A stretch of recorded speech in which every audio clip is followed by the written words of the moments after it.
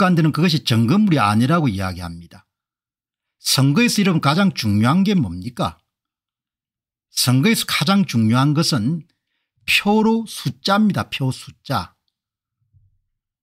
가장 중요한 표 숫자가 뭡니까 총득표 수입니다. 후보자별 총득표 수가 가장 중요한 여러분들 결과물입니다. 선거에서.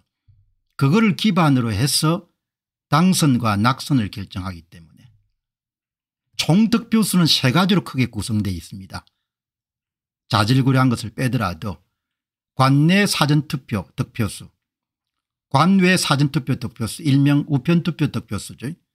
그 다음에 세 번째 선거일 당일 득표수입니다. 그 세 가지의 카테고리로 구성되어 있지 않습니까 그게 가장 중요한 선거의 결과물이고 그게 가장 중요한 선거의 결과물이기 때문에 그것이 가장 중요한 증거물로 채택될 수 있는 겁니다.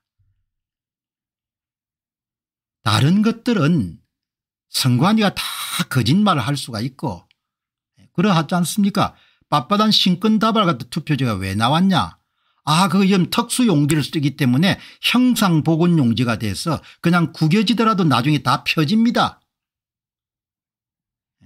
배춧잎 사전투표지 왜 나왔냐? 아 그거는 나오는 걸 넣으면 다시 또 두 개가 나올 수 있습니다. 그렇게 이야기하지 않습니까?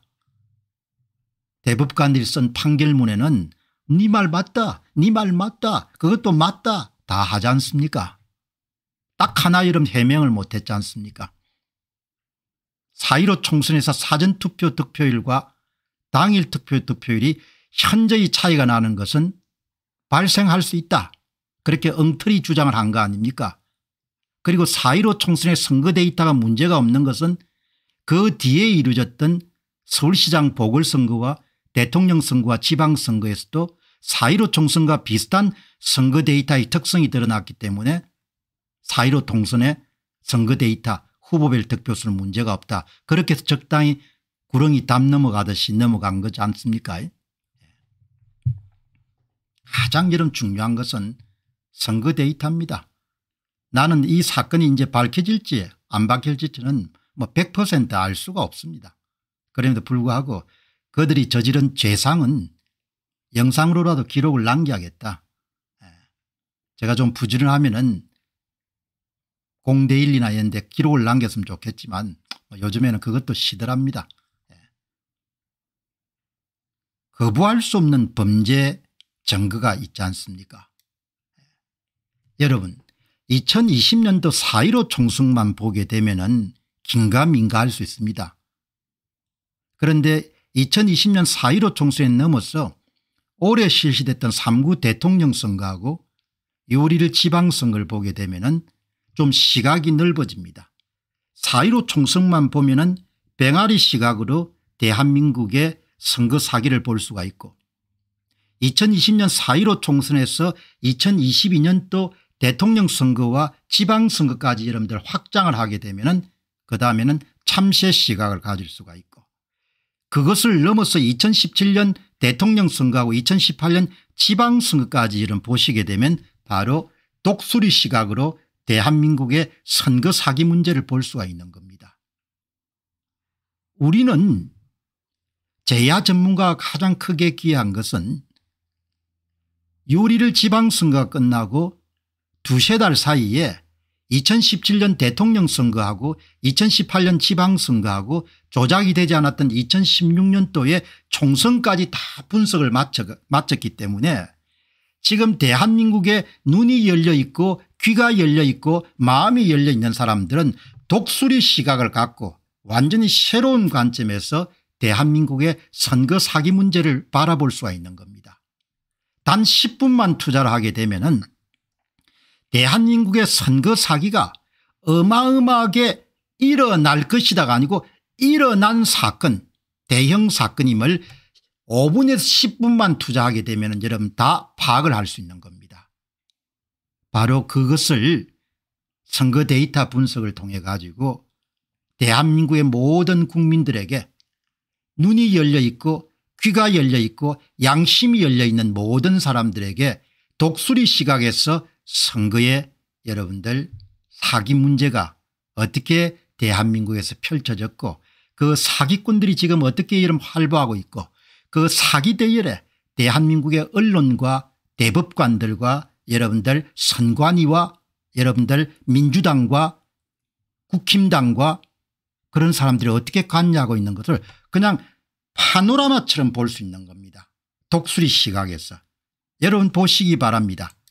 제가 단 여러분들 채널 돌리지 마시고 5분만 투자하시기 바랍니다. 독수리 시각에서 대한민국의 선거 사기가 어떻게 일어난지를 일목요연하게 5분 안에 제가 여러분들에게 말씀드리겠습니다. 2017년 대통령 선거는 문재인과 홍준표와 안철수가 붙었습니다. 여러분 선거를 판별하는 가장 중요한 것은 선거 데이터란 숫자고 그 다음에 투 개표수와 재검표 과정에서 나오는 이상한 투표지입니다. 가장 중요한 것은 특정 지역의 사전투표 득표율과 당일 투표 득표율은 후보별로 비슷해야 된다는 겁니다. 그렇지 않고 큰 차이가 나면 은 바로 당일 투표가 아니라 사전투표에 표를 쑤셔 넣은 겁니다. 어떤 방법으로 전산 프로그램을 가동해 가지고 전산 조작을 해서 표를 이동시킨 겁니다. 투표지 투표함 안에 몇 표를 집어넣는지는 아무도 알 수가 없습니다. 다만 중요한 것은 선관위가 발표한 후보별 득표수하고 투표함 속의 투표지수는 절대 같을 수가 없는 겁니다. 그만큼 정확하게 표를 집어넣을 수 없는 겁니다. 여러분 보시기 바랍니다. 예. 이 차이값이 가장 중요합니다. 이 차이값이 10%대 8%대 이렇게 되면은 그것은 그냥 사전투표의 이름들 조작을 한 겁니다. 특정 후보의 표를 빼앗아 가지고 꼭 같은 수만큼 다른 후보에게 넘겨주는 것은 전산적으로 아주 손쉽게 순식간에 일어날 수가 있습니다. 여러분 이게 문재인과 홍준표와 안철수가 대결했던 2017년도 7사 대선, 대선입니다. 57 대선입니다. 여러분 이 보시기 바랍니다. 자유한국당의 홍준표 후보는 마이너스 11% 예, 관외 사전투표입니다. 우편투표는 좀 숫자는 적지만 가장 많이 조작을 하는 겁니다. 정확하게 0을 중심으로 해서 11%를 옮긴 겁니다. 그 다음에 국힘당은 여러분들 뭐죠 마이너스 2.1%입니다. 민주당은 정확하게 전국에서 여러분들 플러스 87%를 차지하게 됩니다. 사전투표를 조작을 해가지고 자유한국당하고 국힘당 후보와 함께 표를 빼앗아 가지고 민주당 후보에 더해줬다는 것을 이 여러분들 간단한 평균값이 이야기를 하는 겁니다.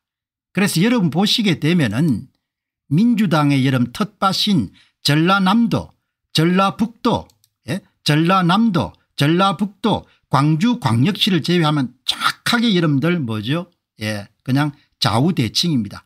아마도 이 값을 자유한국당과 국힘당을 더하게 되면 여러분 얼추 이 값이 나올 겁니다. 예. 여러분 이렇게 여러분들 표를 예. 그러니까 더불어민주당은 그냥 사전투표에서는 무패입니다. 무패. 모든 사전투표에서 당일 투표를 압도할 정도로 플러스 14%까지 차이값이 나옵니다. 관내 사전투표 득표율 빼기 당일 득표 득표율이. 얼마나 이런 조작을 했으면 은 경상북도는 어마어마하게 조작을 했네요.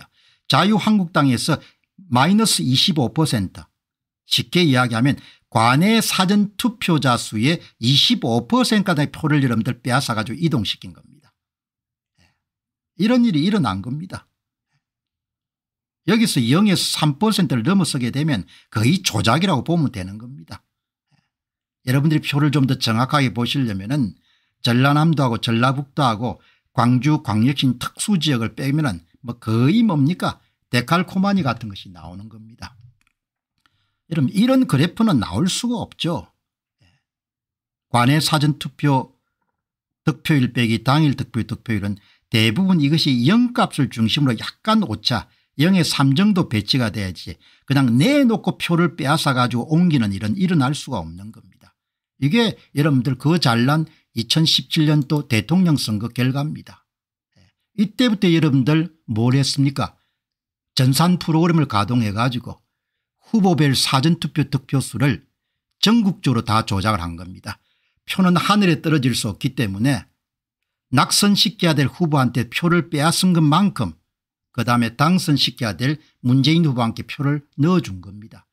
이게 다 남아있는데 이게 다 남아있는데 무슨 여러분들 뭡니까 강단이 있어 가지고 검찰에게 수사 다시 해달라 이렇게 하냐 이야기입니다. 그러니까 제정신으로서는 이해가 잘 안 되는 겁니다. 무슨 꼼수가 있는지. 검사를 구워 삶을 수 있습니까 아 그러면 경찰의 수사관을 구워 삶아 가지고 황교안하고 민경욱이를 뭡니까 혐의 있음으로 그래야 되는 거죠. 이렇게 했는데도 여러분 사전투표 조작을 안 했다고요 네? 사람들이 양심이 있어야지 인생들 그렇게 살면 안 됩니다. 다들 집에 돌아가면 가장일 거고 자식들이 있을 것이고 마누라가 있을 건데 네? 이런 대역죄를 저질러도 되겠습니까 여러분 2017년에 조금 마일드하게 조작했습니다. 순하게 작게 네. 그러니까 이 소위 민주당 계열의 인물들은 70년 역사를 갖고 있다는데 어제 정봉준 씨가 개딸들 여러분들 시위에 나가 가지고 70년 역사를 갖고 있는 민주당을 여러분들 지키기 위해서 이재명 후보를 지키기 위해서 내가 연단에 섰다 이렇게 하는데 정봉준 씨가 1960년생이니까 내하고 동갑이고 윤석열 대통령하고 동갑입니다. 내가 이런 목에서 어떤 말이 치오른 거 하니까 그래 좋다. 70년 역사를 갖고 있는 더불어민주당이 고작 지금 대한민국이 하는 짓이란 것이 문정권 하에서 여러분들 모든 공직선거를 그렇게 전산 프로그램을 짜가지고 다 조작을 해? 그게 70년 정당이 할 일이냐? 어이 정봉주. 그게 70년 정당이 할 일이냐고. 너것도 양심이 있으면 한번 생각해봐라. 정봉주 나이를 미뤄보면 애들이 한 35, 36 정도 됐을 건데 장가들이 일찍 갔으면 다 손자 손녀도 있겠죠. 너가 그렇게 살면 안 된다. 70년 역사를 갖고 있는 더불어민주당이 선거마다 이런 조작을 해? 그렇게 해서 되겠냐 야 너가. 그게 입 다문다고 되겠냐 이야기야. 윤석열 정부가 등장한 지방선거에서조차도 조작을 해? 전산 프로그램을 돌려가지고 전산 프로그램을 돌려가지고 국힘당의 모든 시도지사 시장 군수 구청장 이런 표를 다 빼앗아 가지고 더불어민주당 후보에 넘어, 넘겼죠. 증거 있냐고 증거는 산더미처럼 축적돼 가지고 검찰의 고스란히 그 전체를 다 넘길 수 있는 지금 상황이 돼 있는 거죠. 예. 어이 정봉주 한번 답해봐. 70년 역사를 갖고 있는 더불어민주당이 고작 지금처럼 대한민국의 2020년 2020, 2017년부터 2022년 사이에 남길 수 있는 그런 공헌이 기여가 어? 사전투표 조작을 해가지고 모든 공직선거를 다 도둑질하는 거 그것이 더불어민주당이 할 수 있는 일이냐 이야기죠. 경제협력개발기구에 속하고 있는 나라들 가운데 이렇게 저질스럽게 선거 사기를 저지르고도 다 은폐하는 나라가 어디 있냐 이야기. 너것도 한번 생각해봐라. 나도 이 이야기가 하기가 지겨운데 너것도 한번 생각해봐라 이야기야. 2017년도에 대통령 선거에서 재미를 봤죠. 그 다음 무슨 짓을 했습니까 2018년에 또 조작을 하지 않습니까 예? 2018년 또 지방선거 자유한국당의 홍준표 후보가 당대표로 있었던 데입니다. 여러분 이때도 딱 뭡니까 예? 자유한국당에서 11%를 빼앗아 가지고 더불어민주당이 그냥 11%를 옮겨준 거 아닙니까 관내 사전투표 참가자 수 기준으로 보면 22%를 표를 이동시킨 겁니다. 뭘 통해 가지고 전산 프로그램을 짜가지고 아주 조악한 프로입니다. 프로그램입니다.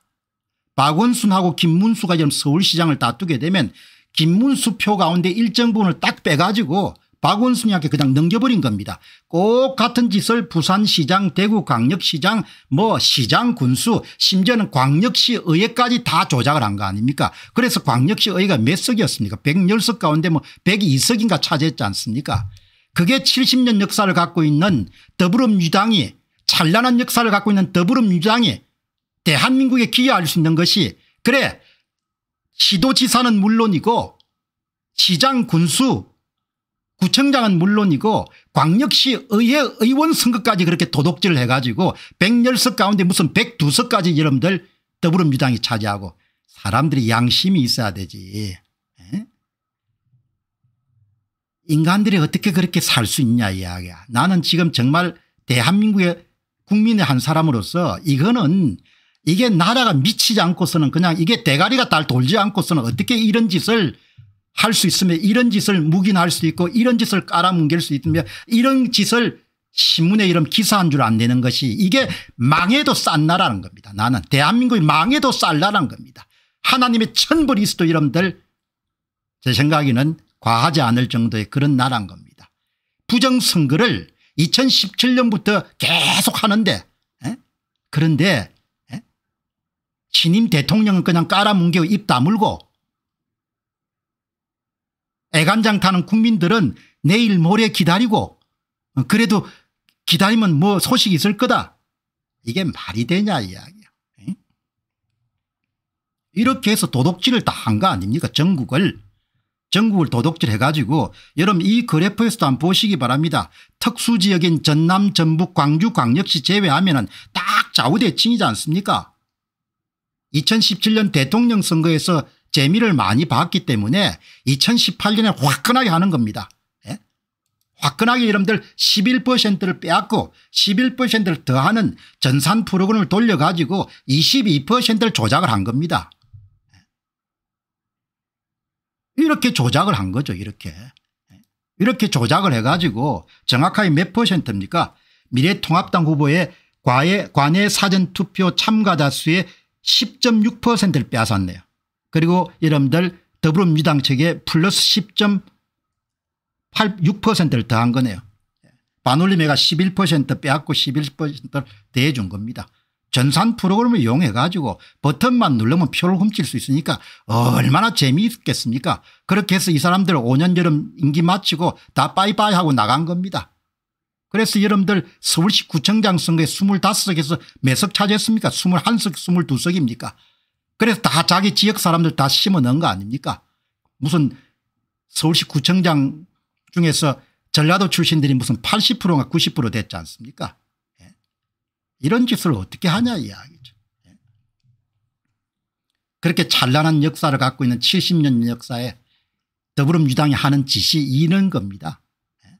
뭐 개딸이든 뭐든 뭐 자기들 마음이니까 어, 자기들 마음이니까 거기에 대해서 내가 뭐라고 뭐 크게 나무랄 생각 없은 겁니다. 그러나 우리가 시민으로 살아가면 약조가 있지 않습니까 서로가 지키야 되는 언약 같은 거가 예. 선거를 도둑질하는 짓을 하고 2년 6개월 동안 그 구성원 가운데 한 명도 거기에 대해서 발설 안 하고 유일하게 정봉주 위원만 예, 학김에 뭡니까 4월 10일인가 자기 유튜브 채널에 와서 너희들이 4.15 총선 여러분들 사전투표에서 한 짐승보다 못한 짓을 내가 안다. 예, 정봉주 위원이 그래도 큰 역할을 한 겁니다. 양심선은 1번이고 그 이유는 없습니다. 예. 이 정거를 어떻게 할 거냐야. 그래서 선관위가 검찰에 재수사 의뢰해 가지고 그래서 황교안하고 이런 민경욱이를 감옥에 쳐넣을 수 있을 것 같습니까 이렇게 조작질을 했는데 무슨 증거가 더 필요하냐 야 이런 증거를 했는데 2018년에 2018년에 이런 짓을 했는데 여러분 그 다음에 화끈하게 뭡니까? 도둑질을 언제 했습니까? 2020년 총선 때 했지 않습니까? 4.15 총선 때. 이때는 가장 크게 이런 한 몫을 잡은 거죠. 여러분들 이게 0에서 3% 나와야 되는데 12.5% 나왔습니까? 전국 평균이. 그래 표를 얼마만큼 도둑질 했습니까? 25%를 도둑질한 겁니다. 사전투표 참가자 수의 25 사전투표에 100명이 참석했으면 25명만큼만 뭡니까 다 더불어민주당이 다 가져가 버린 겁니다. 12.5명을 빼앗고 12.5명을 더해줘 가지고 25명분만큼 자기들이 헤쳐먹은 겁니다. 여기서 뭡니까? 3%를 넘어서면 안 되는데 12.5%를 전국 평균으로 뭡니까? 도둑질한 것이 바로 2020년 4.15 총선입니다. 그 도둑질 한 사람들이 대부분 지금 어디 있습니까? 여기도 국회의사당에 배지 달고 폼 정청래 우상호 윤호중이 에? 다 여러분들 뭡니까? 4.15 총선에서 전산 프로그램 돌려가 다 만든 사람들 아닙니까? 내 말 틀렸습니까 기분 나쁘면 뭡니까? 아이 공 박사님 그거 틀렸습니다. 아 그러면 개인별로 다 분석 자료를 보내줄게요. 당신이 얼마만큼 훔쳤는지를 내가 가르쳐 줄게요. 그래서 여러분들 이런 게 결과가 나오는 거 아닙니까? 관내 사전투표만 하더라도 얼마나 이름 훔쳤습니까? 예, 13% 12점 몇 퍼센트입니까? 13.2%로 훔쳤네요. 관내 사전투표 미래통합당이 이름 13, 13.2%를 훔쳐가지고 더불어민주당에 탁 더해 준 겁니다. 더불어민주당은 전국에서 모두 다 서울만 하더라도 1480대 제로가 나온 거 아닙니까? 서울 시내 모든 투표소에서 다 누가 이깁니까? 사전투표에서 압승하지 않습니까? 1480대 제로인가? 인천은 뭐 540대 제로인가 에? 들키지 않기 위해 가지고 사람이 했으면 좀 눈치를 볼 건데 여러분도 뭐 컴퓨터 작업 많이 하셨지만 컴퓨터는 명령어만 딱 주면은 무지하게 뭡니까 돌아가지 않습니까 이렇게 표를 훔친 겁니다. 2020년도 4.15 총선에서 관내 사전투표 참가자 수에 여러분들 미래통합당 후보가 13.2%를 훔쳐가지고 더불어민주당이 다 꿀꺽 삼킨 겁니다. 그게 합치게 되면 얼마입니까 26%를 훔친 겁니다. 약. 4.15 총선의 관내 사전투표 득표율 당일 투표 득표를 합치게 되면 전국의 평균 조작 규모가 25%입니다. 플러스 12.5% 마이너스 12.5% 반드시 낙선시켜야 될 때는 무자백에 더 이름 훔치죠. 그 지역이 어딥니까 오세훈 후보가 출마했던데 나경원 후보가 출마했던데 가장 많이 훔친 데가 바로 황교안을 여러분들 낙선시켜야 되니까 30% 이상 조작을 했죠. 그게 나오지 않습니까 이거 어디 숨길 겁니까 그런데 왜 여러분들 경찰 수사에 불만을 갖고 사전투표 조작설에 불만을 갖고 검찰에게 이의 신청을 했습니까 검사를 구워 삶을 수 있다는 자신감이 없으면 할 수 없겠죠. 이게 2020년 총선의 이름들 조작 결과입니다. 얼마나 야무지게 이름들 훔쳤습니까 좌우대칭이 뚜렷하지 않습니까 미래통합당 후보한테서 모든 시도지사에서 특수지역인 전남 전북 광주를 빼고 나면 너무나 아름다운 그림이 그려지는 겁니다. 이렇게 표를 무자비하게 도둑질을 한 겁니다. 70년의 찬란한 역사를 갖고 있는 더불어민주당 측이 이런 한 짓이 이런 겁니다. 이건 누가 했겠습니까 누가 가장 큰 혜택을 봅니까 의심하지 않을 수 없는 거죠. 왜 더불어민주당은 모두 사전투표하면 압승이죠 당일 투표하면 어떻게 미래통합당이 압승합니까 어떻게 이런 그래프가 나옵니까 마이너스 16%가 어떻게 나옵니까 플러스 17%가 어떻게 나옵니까 강원도를 오지게 이름들 그냥 훔쳤네요. 가장 많이 훔쳤구먼요. 이게 2020년 총선이지 않습니까 다 같은 부모 밑입니다. 선거 사기라는 같은 부모 밑에 여러분들 유전자도 같습니다. 어떤 유전자입니까 예, 전산 프로그램을 이용한 득표수 이동입니다. 사전투표 득표수 이동. 그렇기 때문에 이 사람들은 2020년 4.15 총선에 승리하고 난 다음에 아무 걱정 없었습니다. 왜? 투표를 장악하고 있으니까. 그래서 대선 그건 100% 확신했을 겁니다.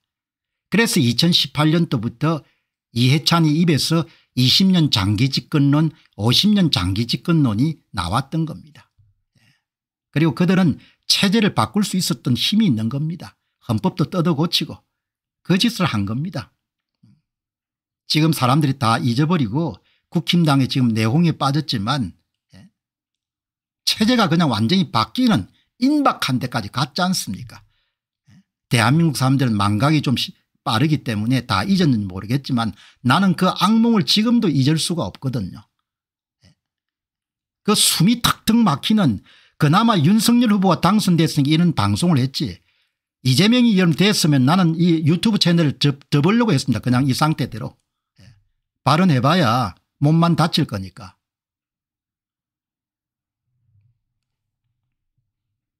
이거가 심각한 문제입니다. 지금 이 상태대로 가면 은 총선 대선 지선 또 여러분들 같은 짓 합니다. 여러분 이게 이렇게 조작을 한 겁니다. 자 그럼 여러분 그 다음 또 어떤 짓을 했습니까 예? 예?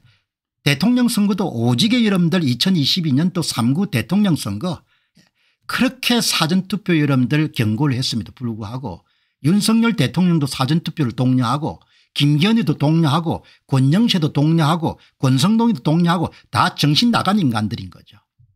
조작이 어떻게 이루어집니까 사전투표 참가자 수에 비례해 가지고 표를 빼앗는 겁니다. 사전투표 참가자 수의 12.5%를 빼앗고 12.5%를 더해 준 게 여러분 어떤 선거입니까 2020년 4.15 총선입니다. 그거를 그렇게 이야기를 했는데도 서울법대를 나오고 그 어려운 사법고시를 통과한 인간들이 죄다 사전투표로 달려간 겁니다. 그럼 사전투표가 여러분들 100명이 할 때하고 200명이 할때 더블로 그냥 자동적으로 조작이 되는데 예? 거짓들을 하고 있는 겁니다. 그래서 나라가 망해도 싼 겁니다 한마디로. 정말 하나님 마지막 기회를 준 겁니다. 2020년 대통령 선거 보시기 바랍니다. 예. 7% 빼앗아 가지고 7% 대준 겁니다. 쉽게 이야기하면 어떻습니까 14%를 조작한 겁니다. 관내 사전투표에 참가한 사람 숫자의 14%를 표를 이동한 거 아닙니까 예. 민주당의 이재명은 플러스 7% 국힘당의 윤석열은 마이너스 7%를 한 겁니다. 예. 이렇게 표를 조작을 해가지고 선거를 해놓으니까 0.73%는 무슨 0.73%입니까 351만 표 정도 차이가 났는데 조작 규모가 326만 표를 어제 제가 말씀드렸지 않습니까? 그래 조작한 게 이렇게 딱 그래프가 나오지 않습니까? 여기 특수지역 빼시기 바랍니다. 전라남도 전라북도 광주 광역시 빼면 또 여러분들 제주특별시 빼면 전국이 다 뭡니까? 아름답지 않습니까? 9%가 여러분들 차이가 납니다. 0에 3% 정도 차이가 나야 될 차이값이 9%까지 차이가 나도록 만든 겁니다. 이렇게 선거를 예? 선거를 한땅 훔칠 수 있으니까 무슨 걱정입니까? 국민을 어떻게 졸로 안 보겠습니까? 국민을 어떻게 개나 돼지로 안 보겠습니까? 가재붕으로 보는 거죠. 나라도 권력을 잡으면 선거를 조작할 수 있으면 나라도 뭡니까? 국민들 가재붕으로 볼 것 같아요. 그러니 지금 대한민국 선거는 사전투표의 경우에는 투표자들이 표를 던지는 아무 관련이 없습니다. 그냥 전산 프로그램이 숫자를 만드는 겁니다. 그 중앙선거관리에 지금 발표한 뭐죠 홈페이지에 들어가게 되면 사전투표 후보별 득표수가 나와 있는데 그거 다 뭡니까 가라 가짜인 거죠. 전산 프로그램을 만들었습니까 어마어마한 범죄인 겁니다. 그래서 필사적으로 다 덮는 겁니다. 그것도 필사적으로 덮는데 서울법대 나온 사람들이 혁혁한 공헌을 세우고 있죠. 그러니 나라가 안 망하겠습니까? 여러분 이 분석 누가 했습니까? 제야 전문가하고 시민 디님이 한 겁니다. 그 사람들이 서울법대 나왔습니까? 그 사람들이 대법관입니까? 그 사람이 대통령입니까? 그 사람이 당대표입니까? 그 사람이 뭡니까? 국회의원입니까? 낮에 생업하고 밤, 여름 밤을 새워가면서 분석해 가지고 제출한 자료를 가지고 우리가 독수리 시각을 갖고 대한민국의 선거 사기를 전모를 다 파악할 수 있는 겁니다. 2017년부터 2022년도에 모두 다 아버지가 같은 아들 딸이 나온 겁니다. 유전자는 뭡니까 유전자는 전산 프로그램을 돌려가지고 후보별 사전투표 득표수를 조작한 겁니다. 그게 핵심입니다.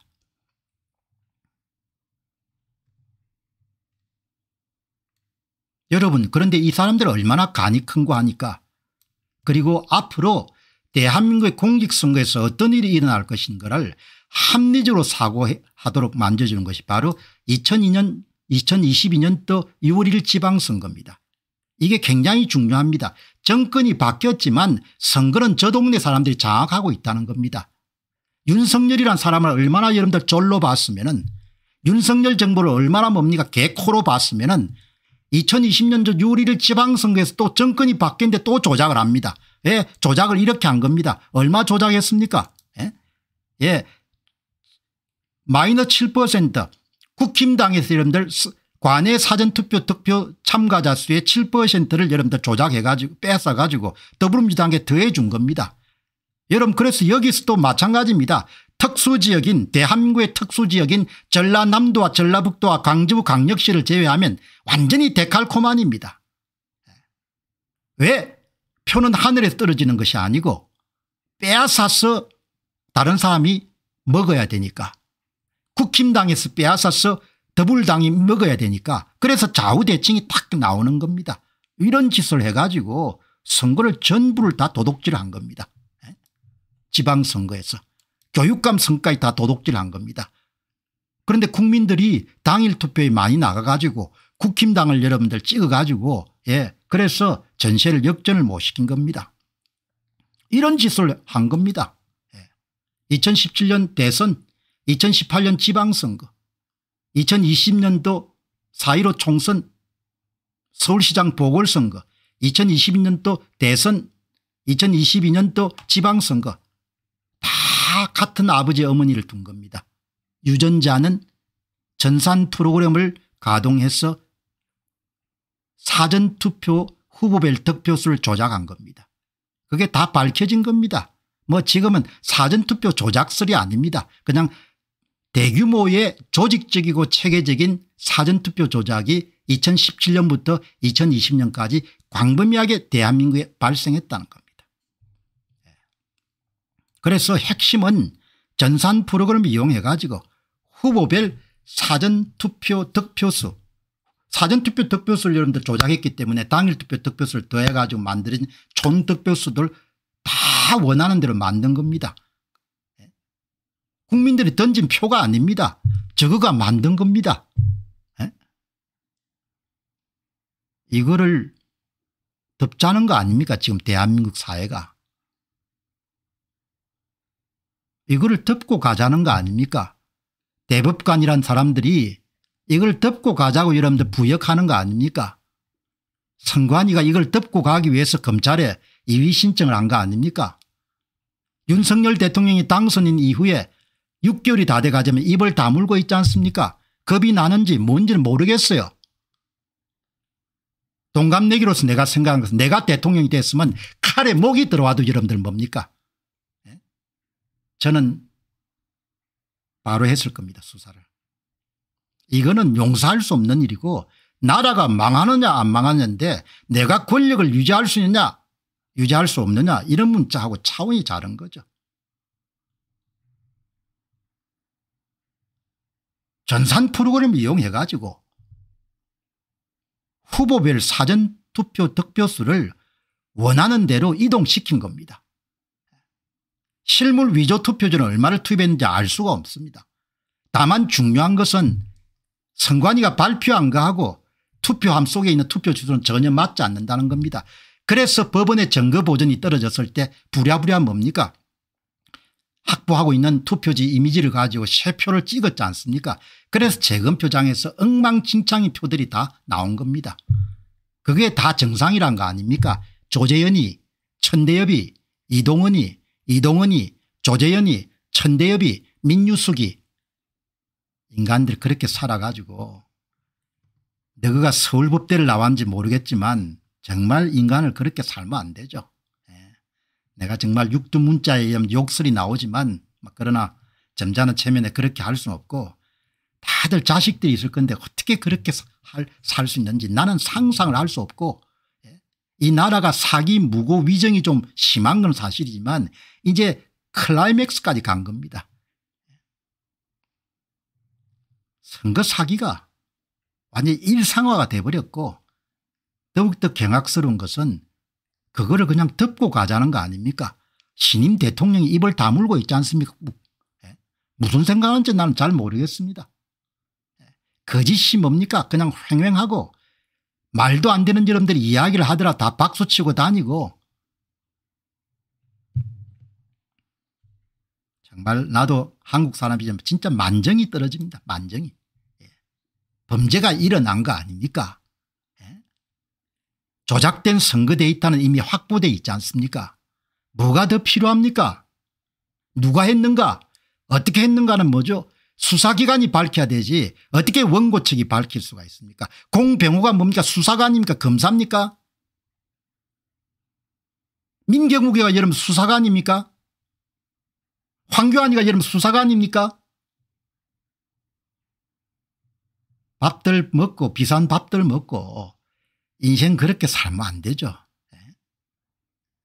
돈 벌기가 얼마나 힘든데 그래서 세금 내면은 자기 역할은 좀 해야 되지 않습니까 대법관들 하는 꼬라지 보시기 바랍니다.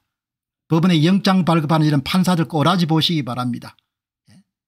이큰 사건이 발생했는데 검찰의 이름 공공수사부 선거사범을 조사하는 데서 대장동 백혈동은 단뜩 뭡니까 북치고 장구치고 하지만 이 어마어마한 사건에 대해서 수사 하나 없는 겁니다.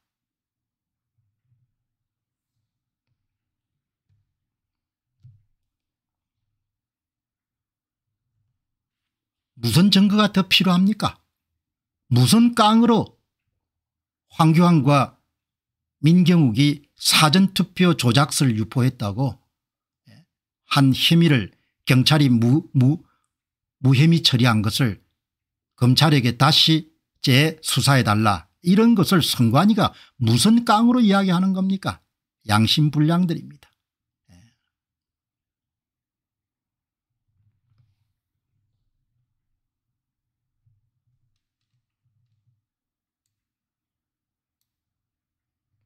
제가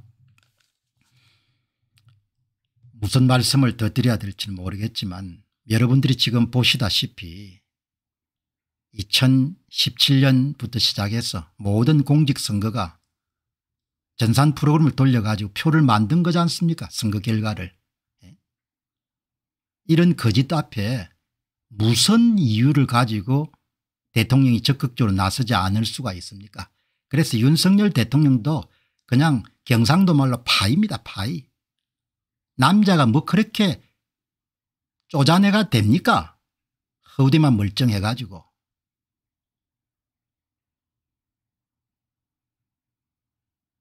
남자가 그렇게 할 수 있는 겁니까 대통령이 그렇게 할 수 있는 겁니까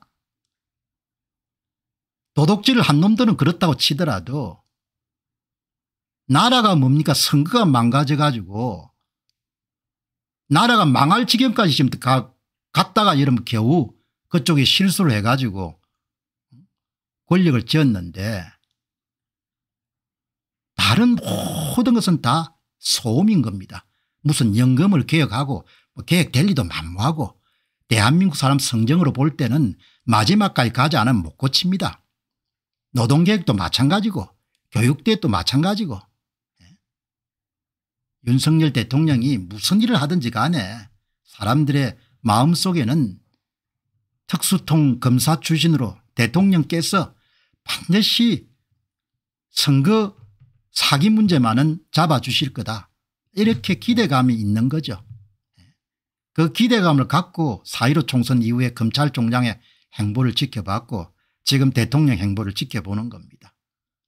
이거는 뭐 해결해야 되고 해결하지 않아야 되고 그렇게 선택할 수 있는 사안은 아니라고 봅니다. 반드시 해야 될 사안인 거죠.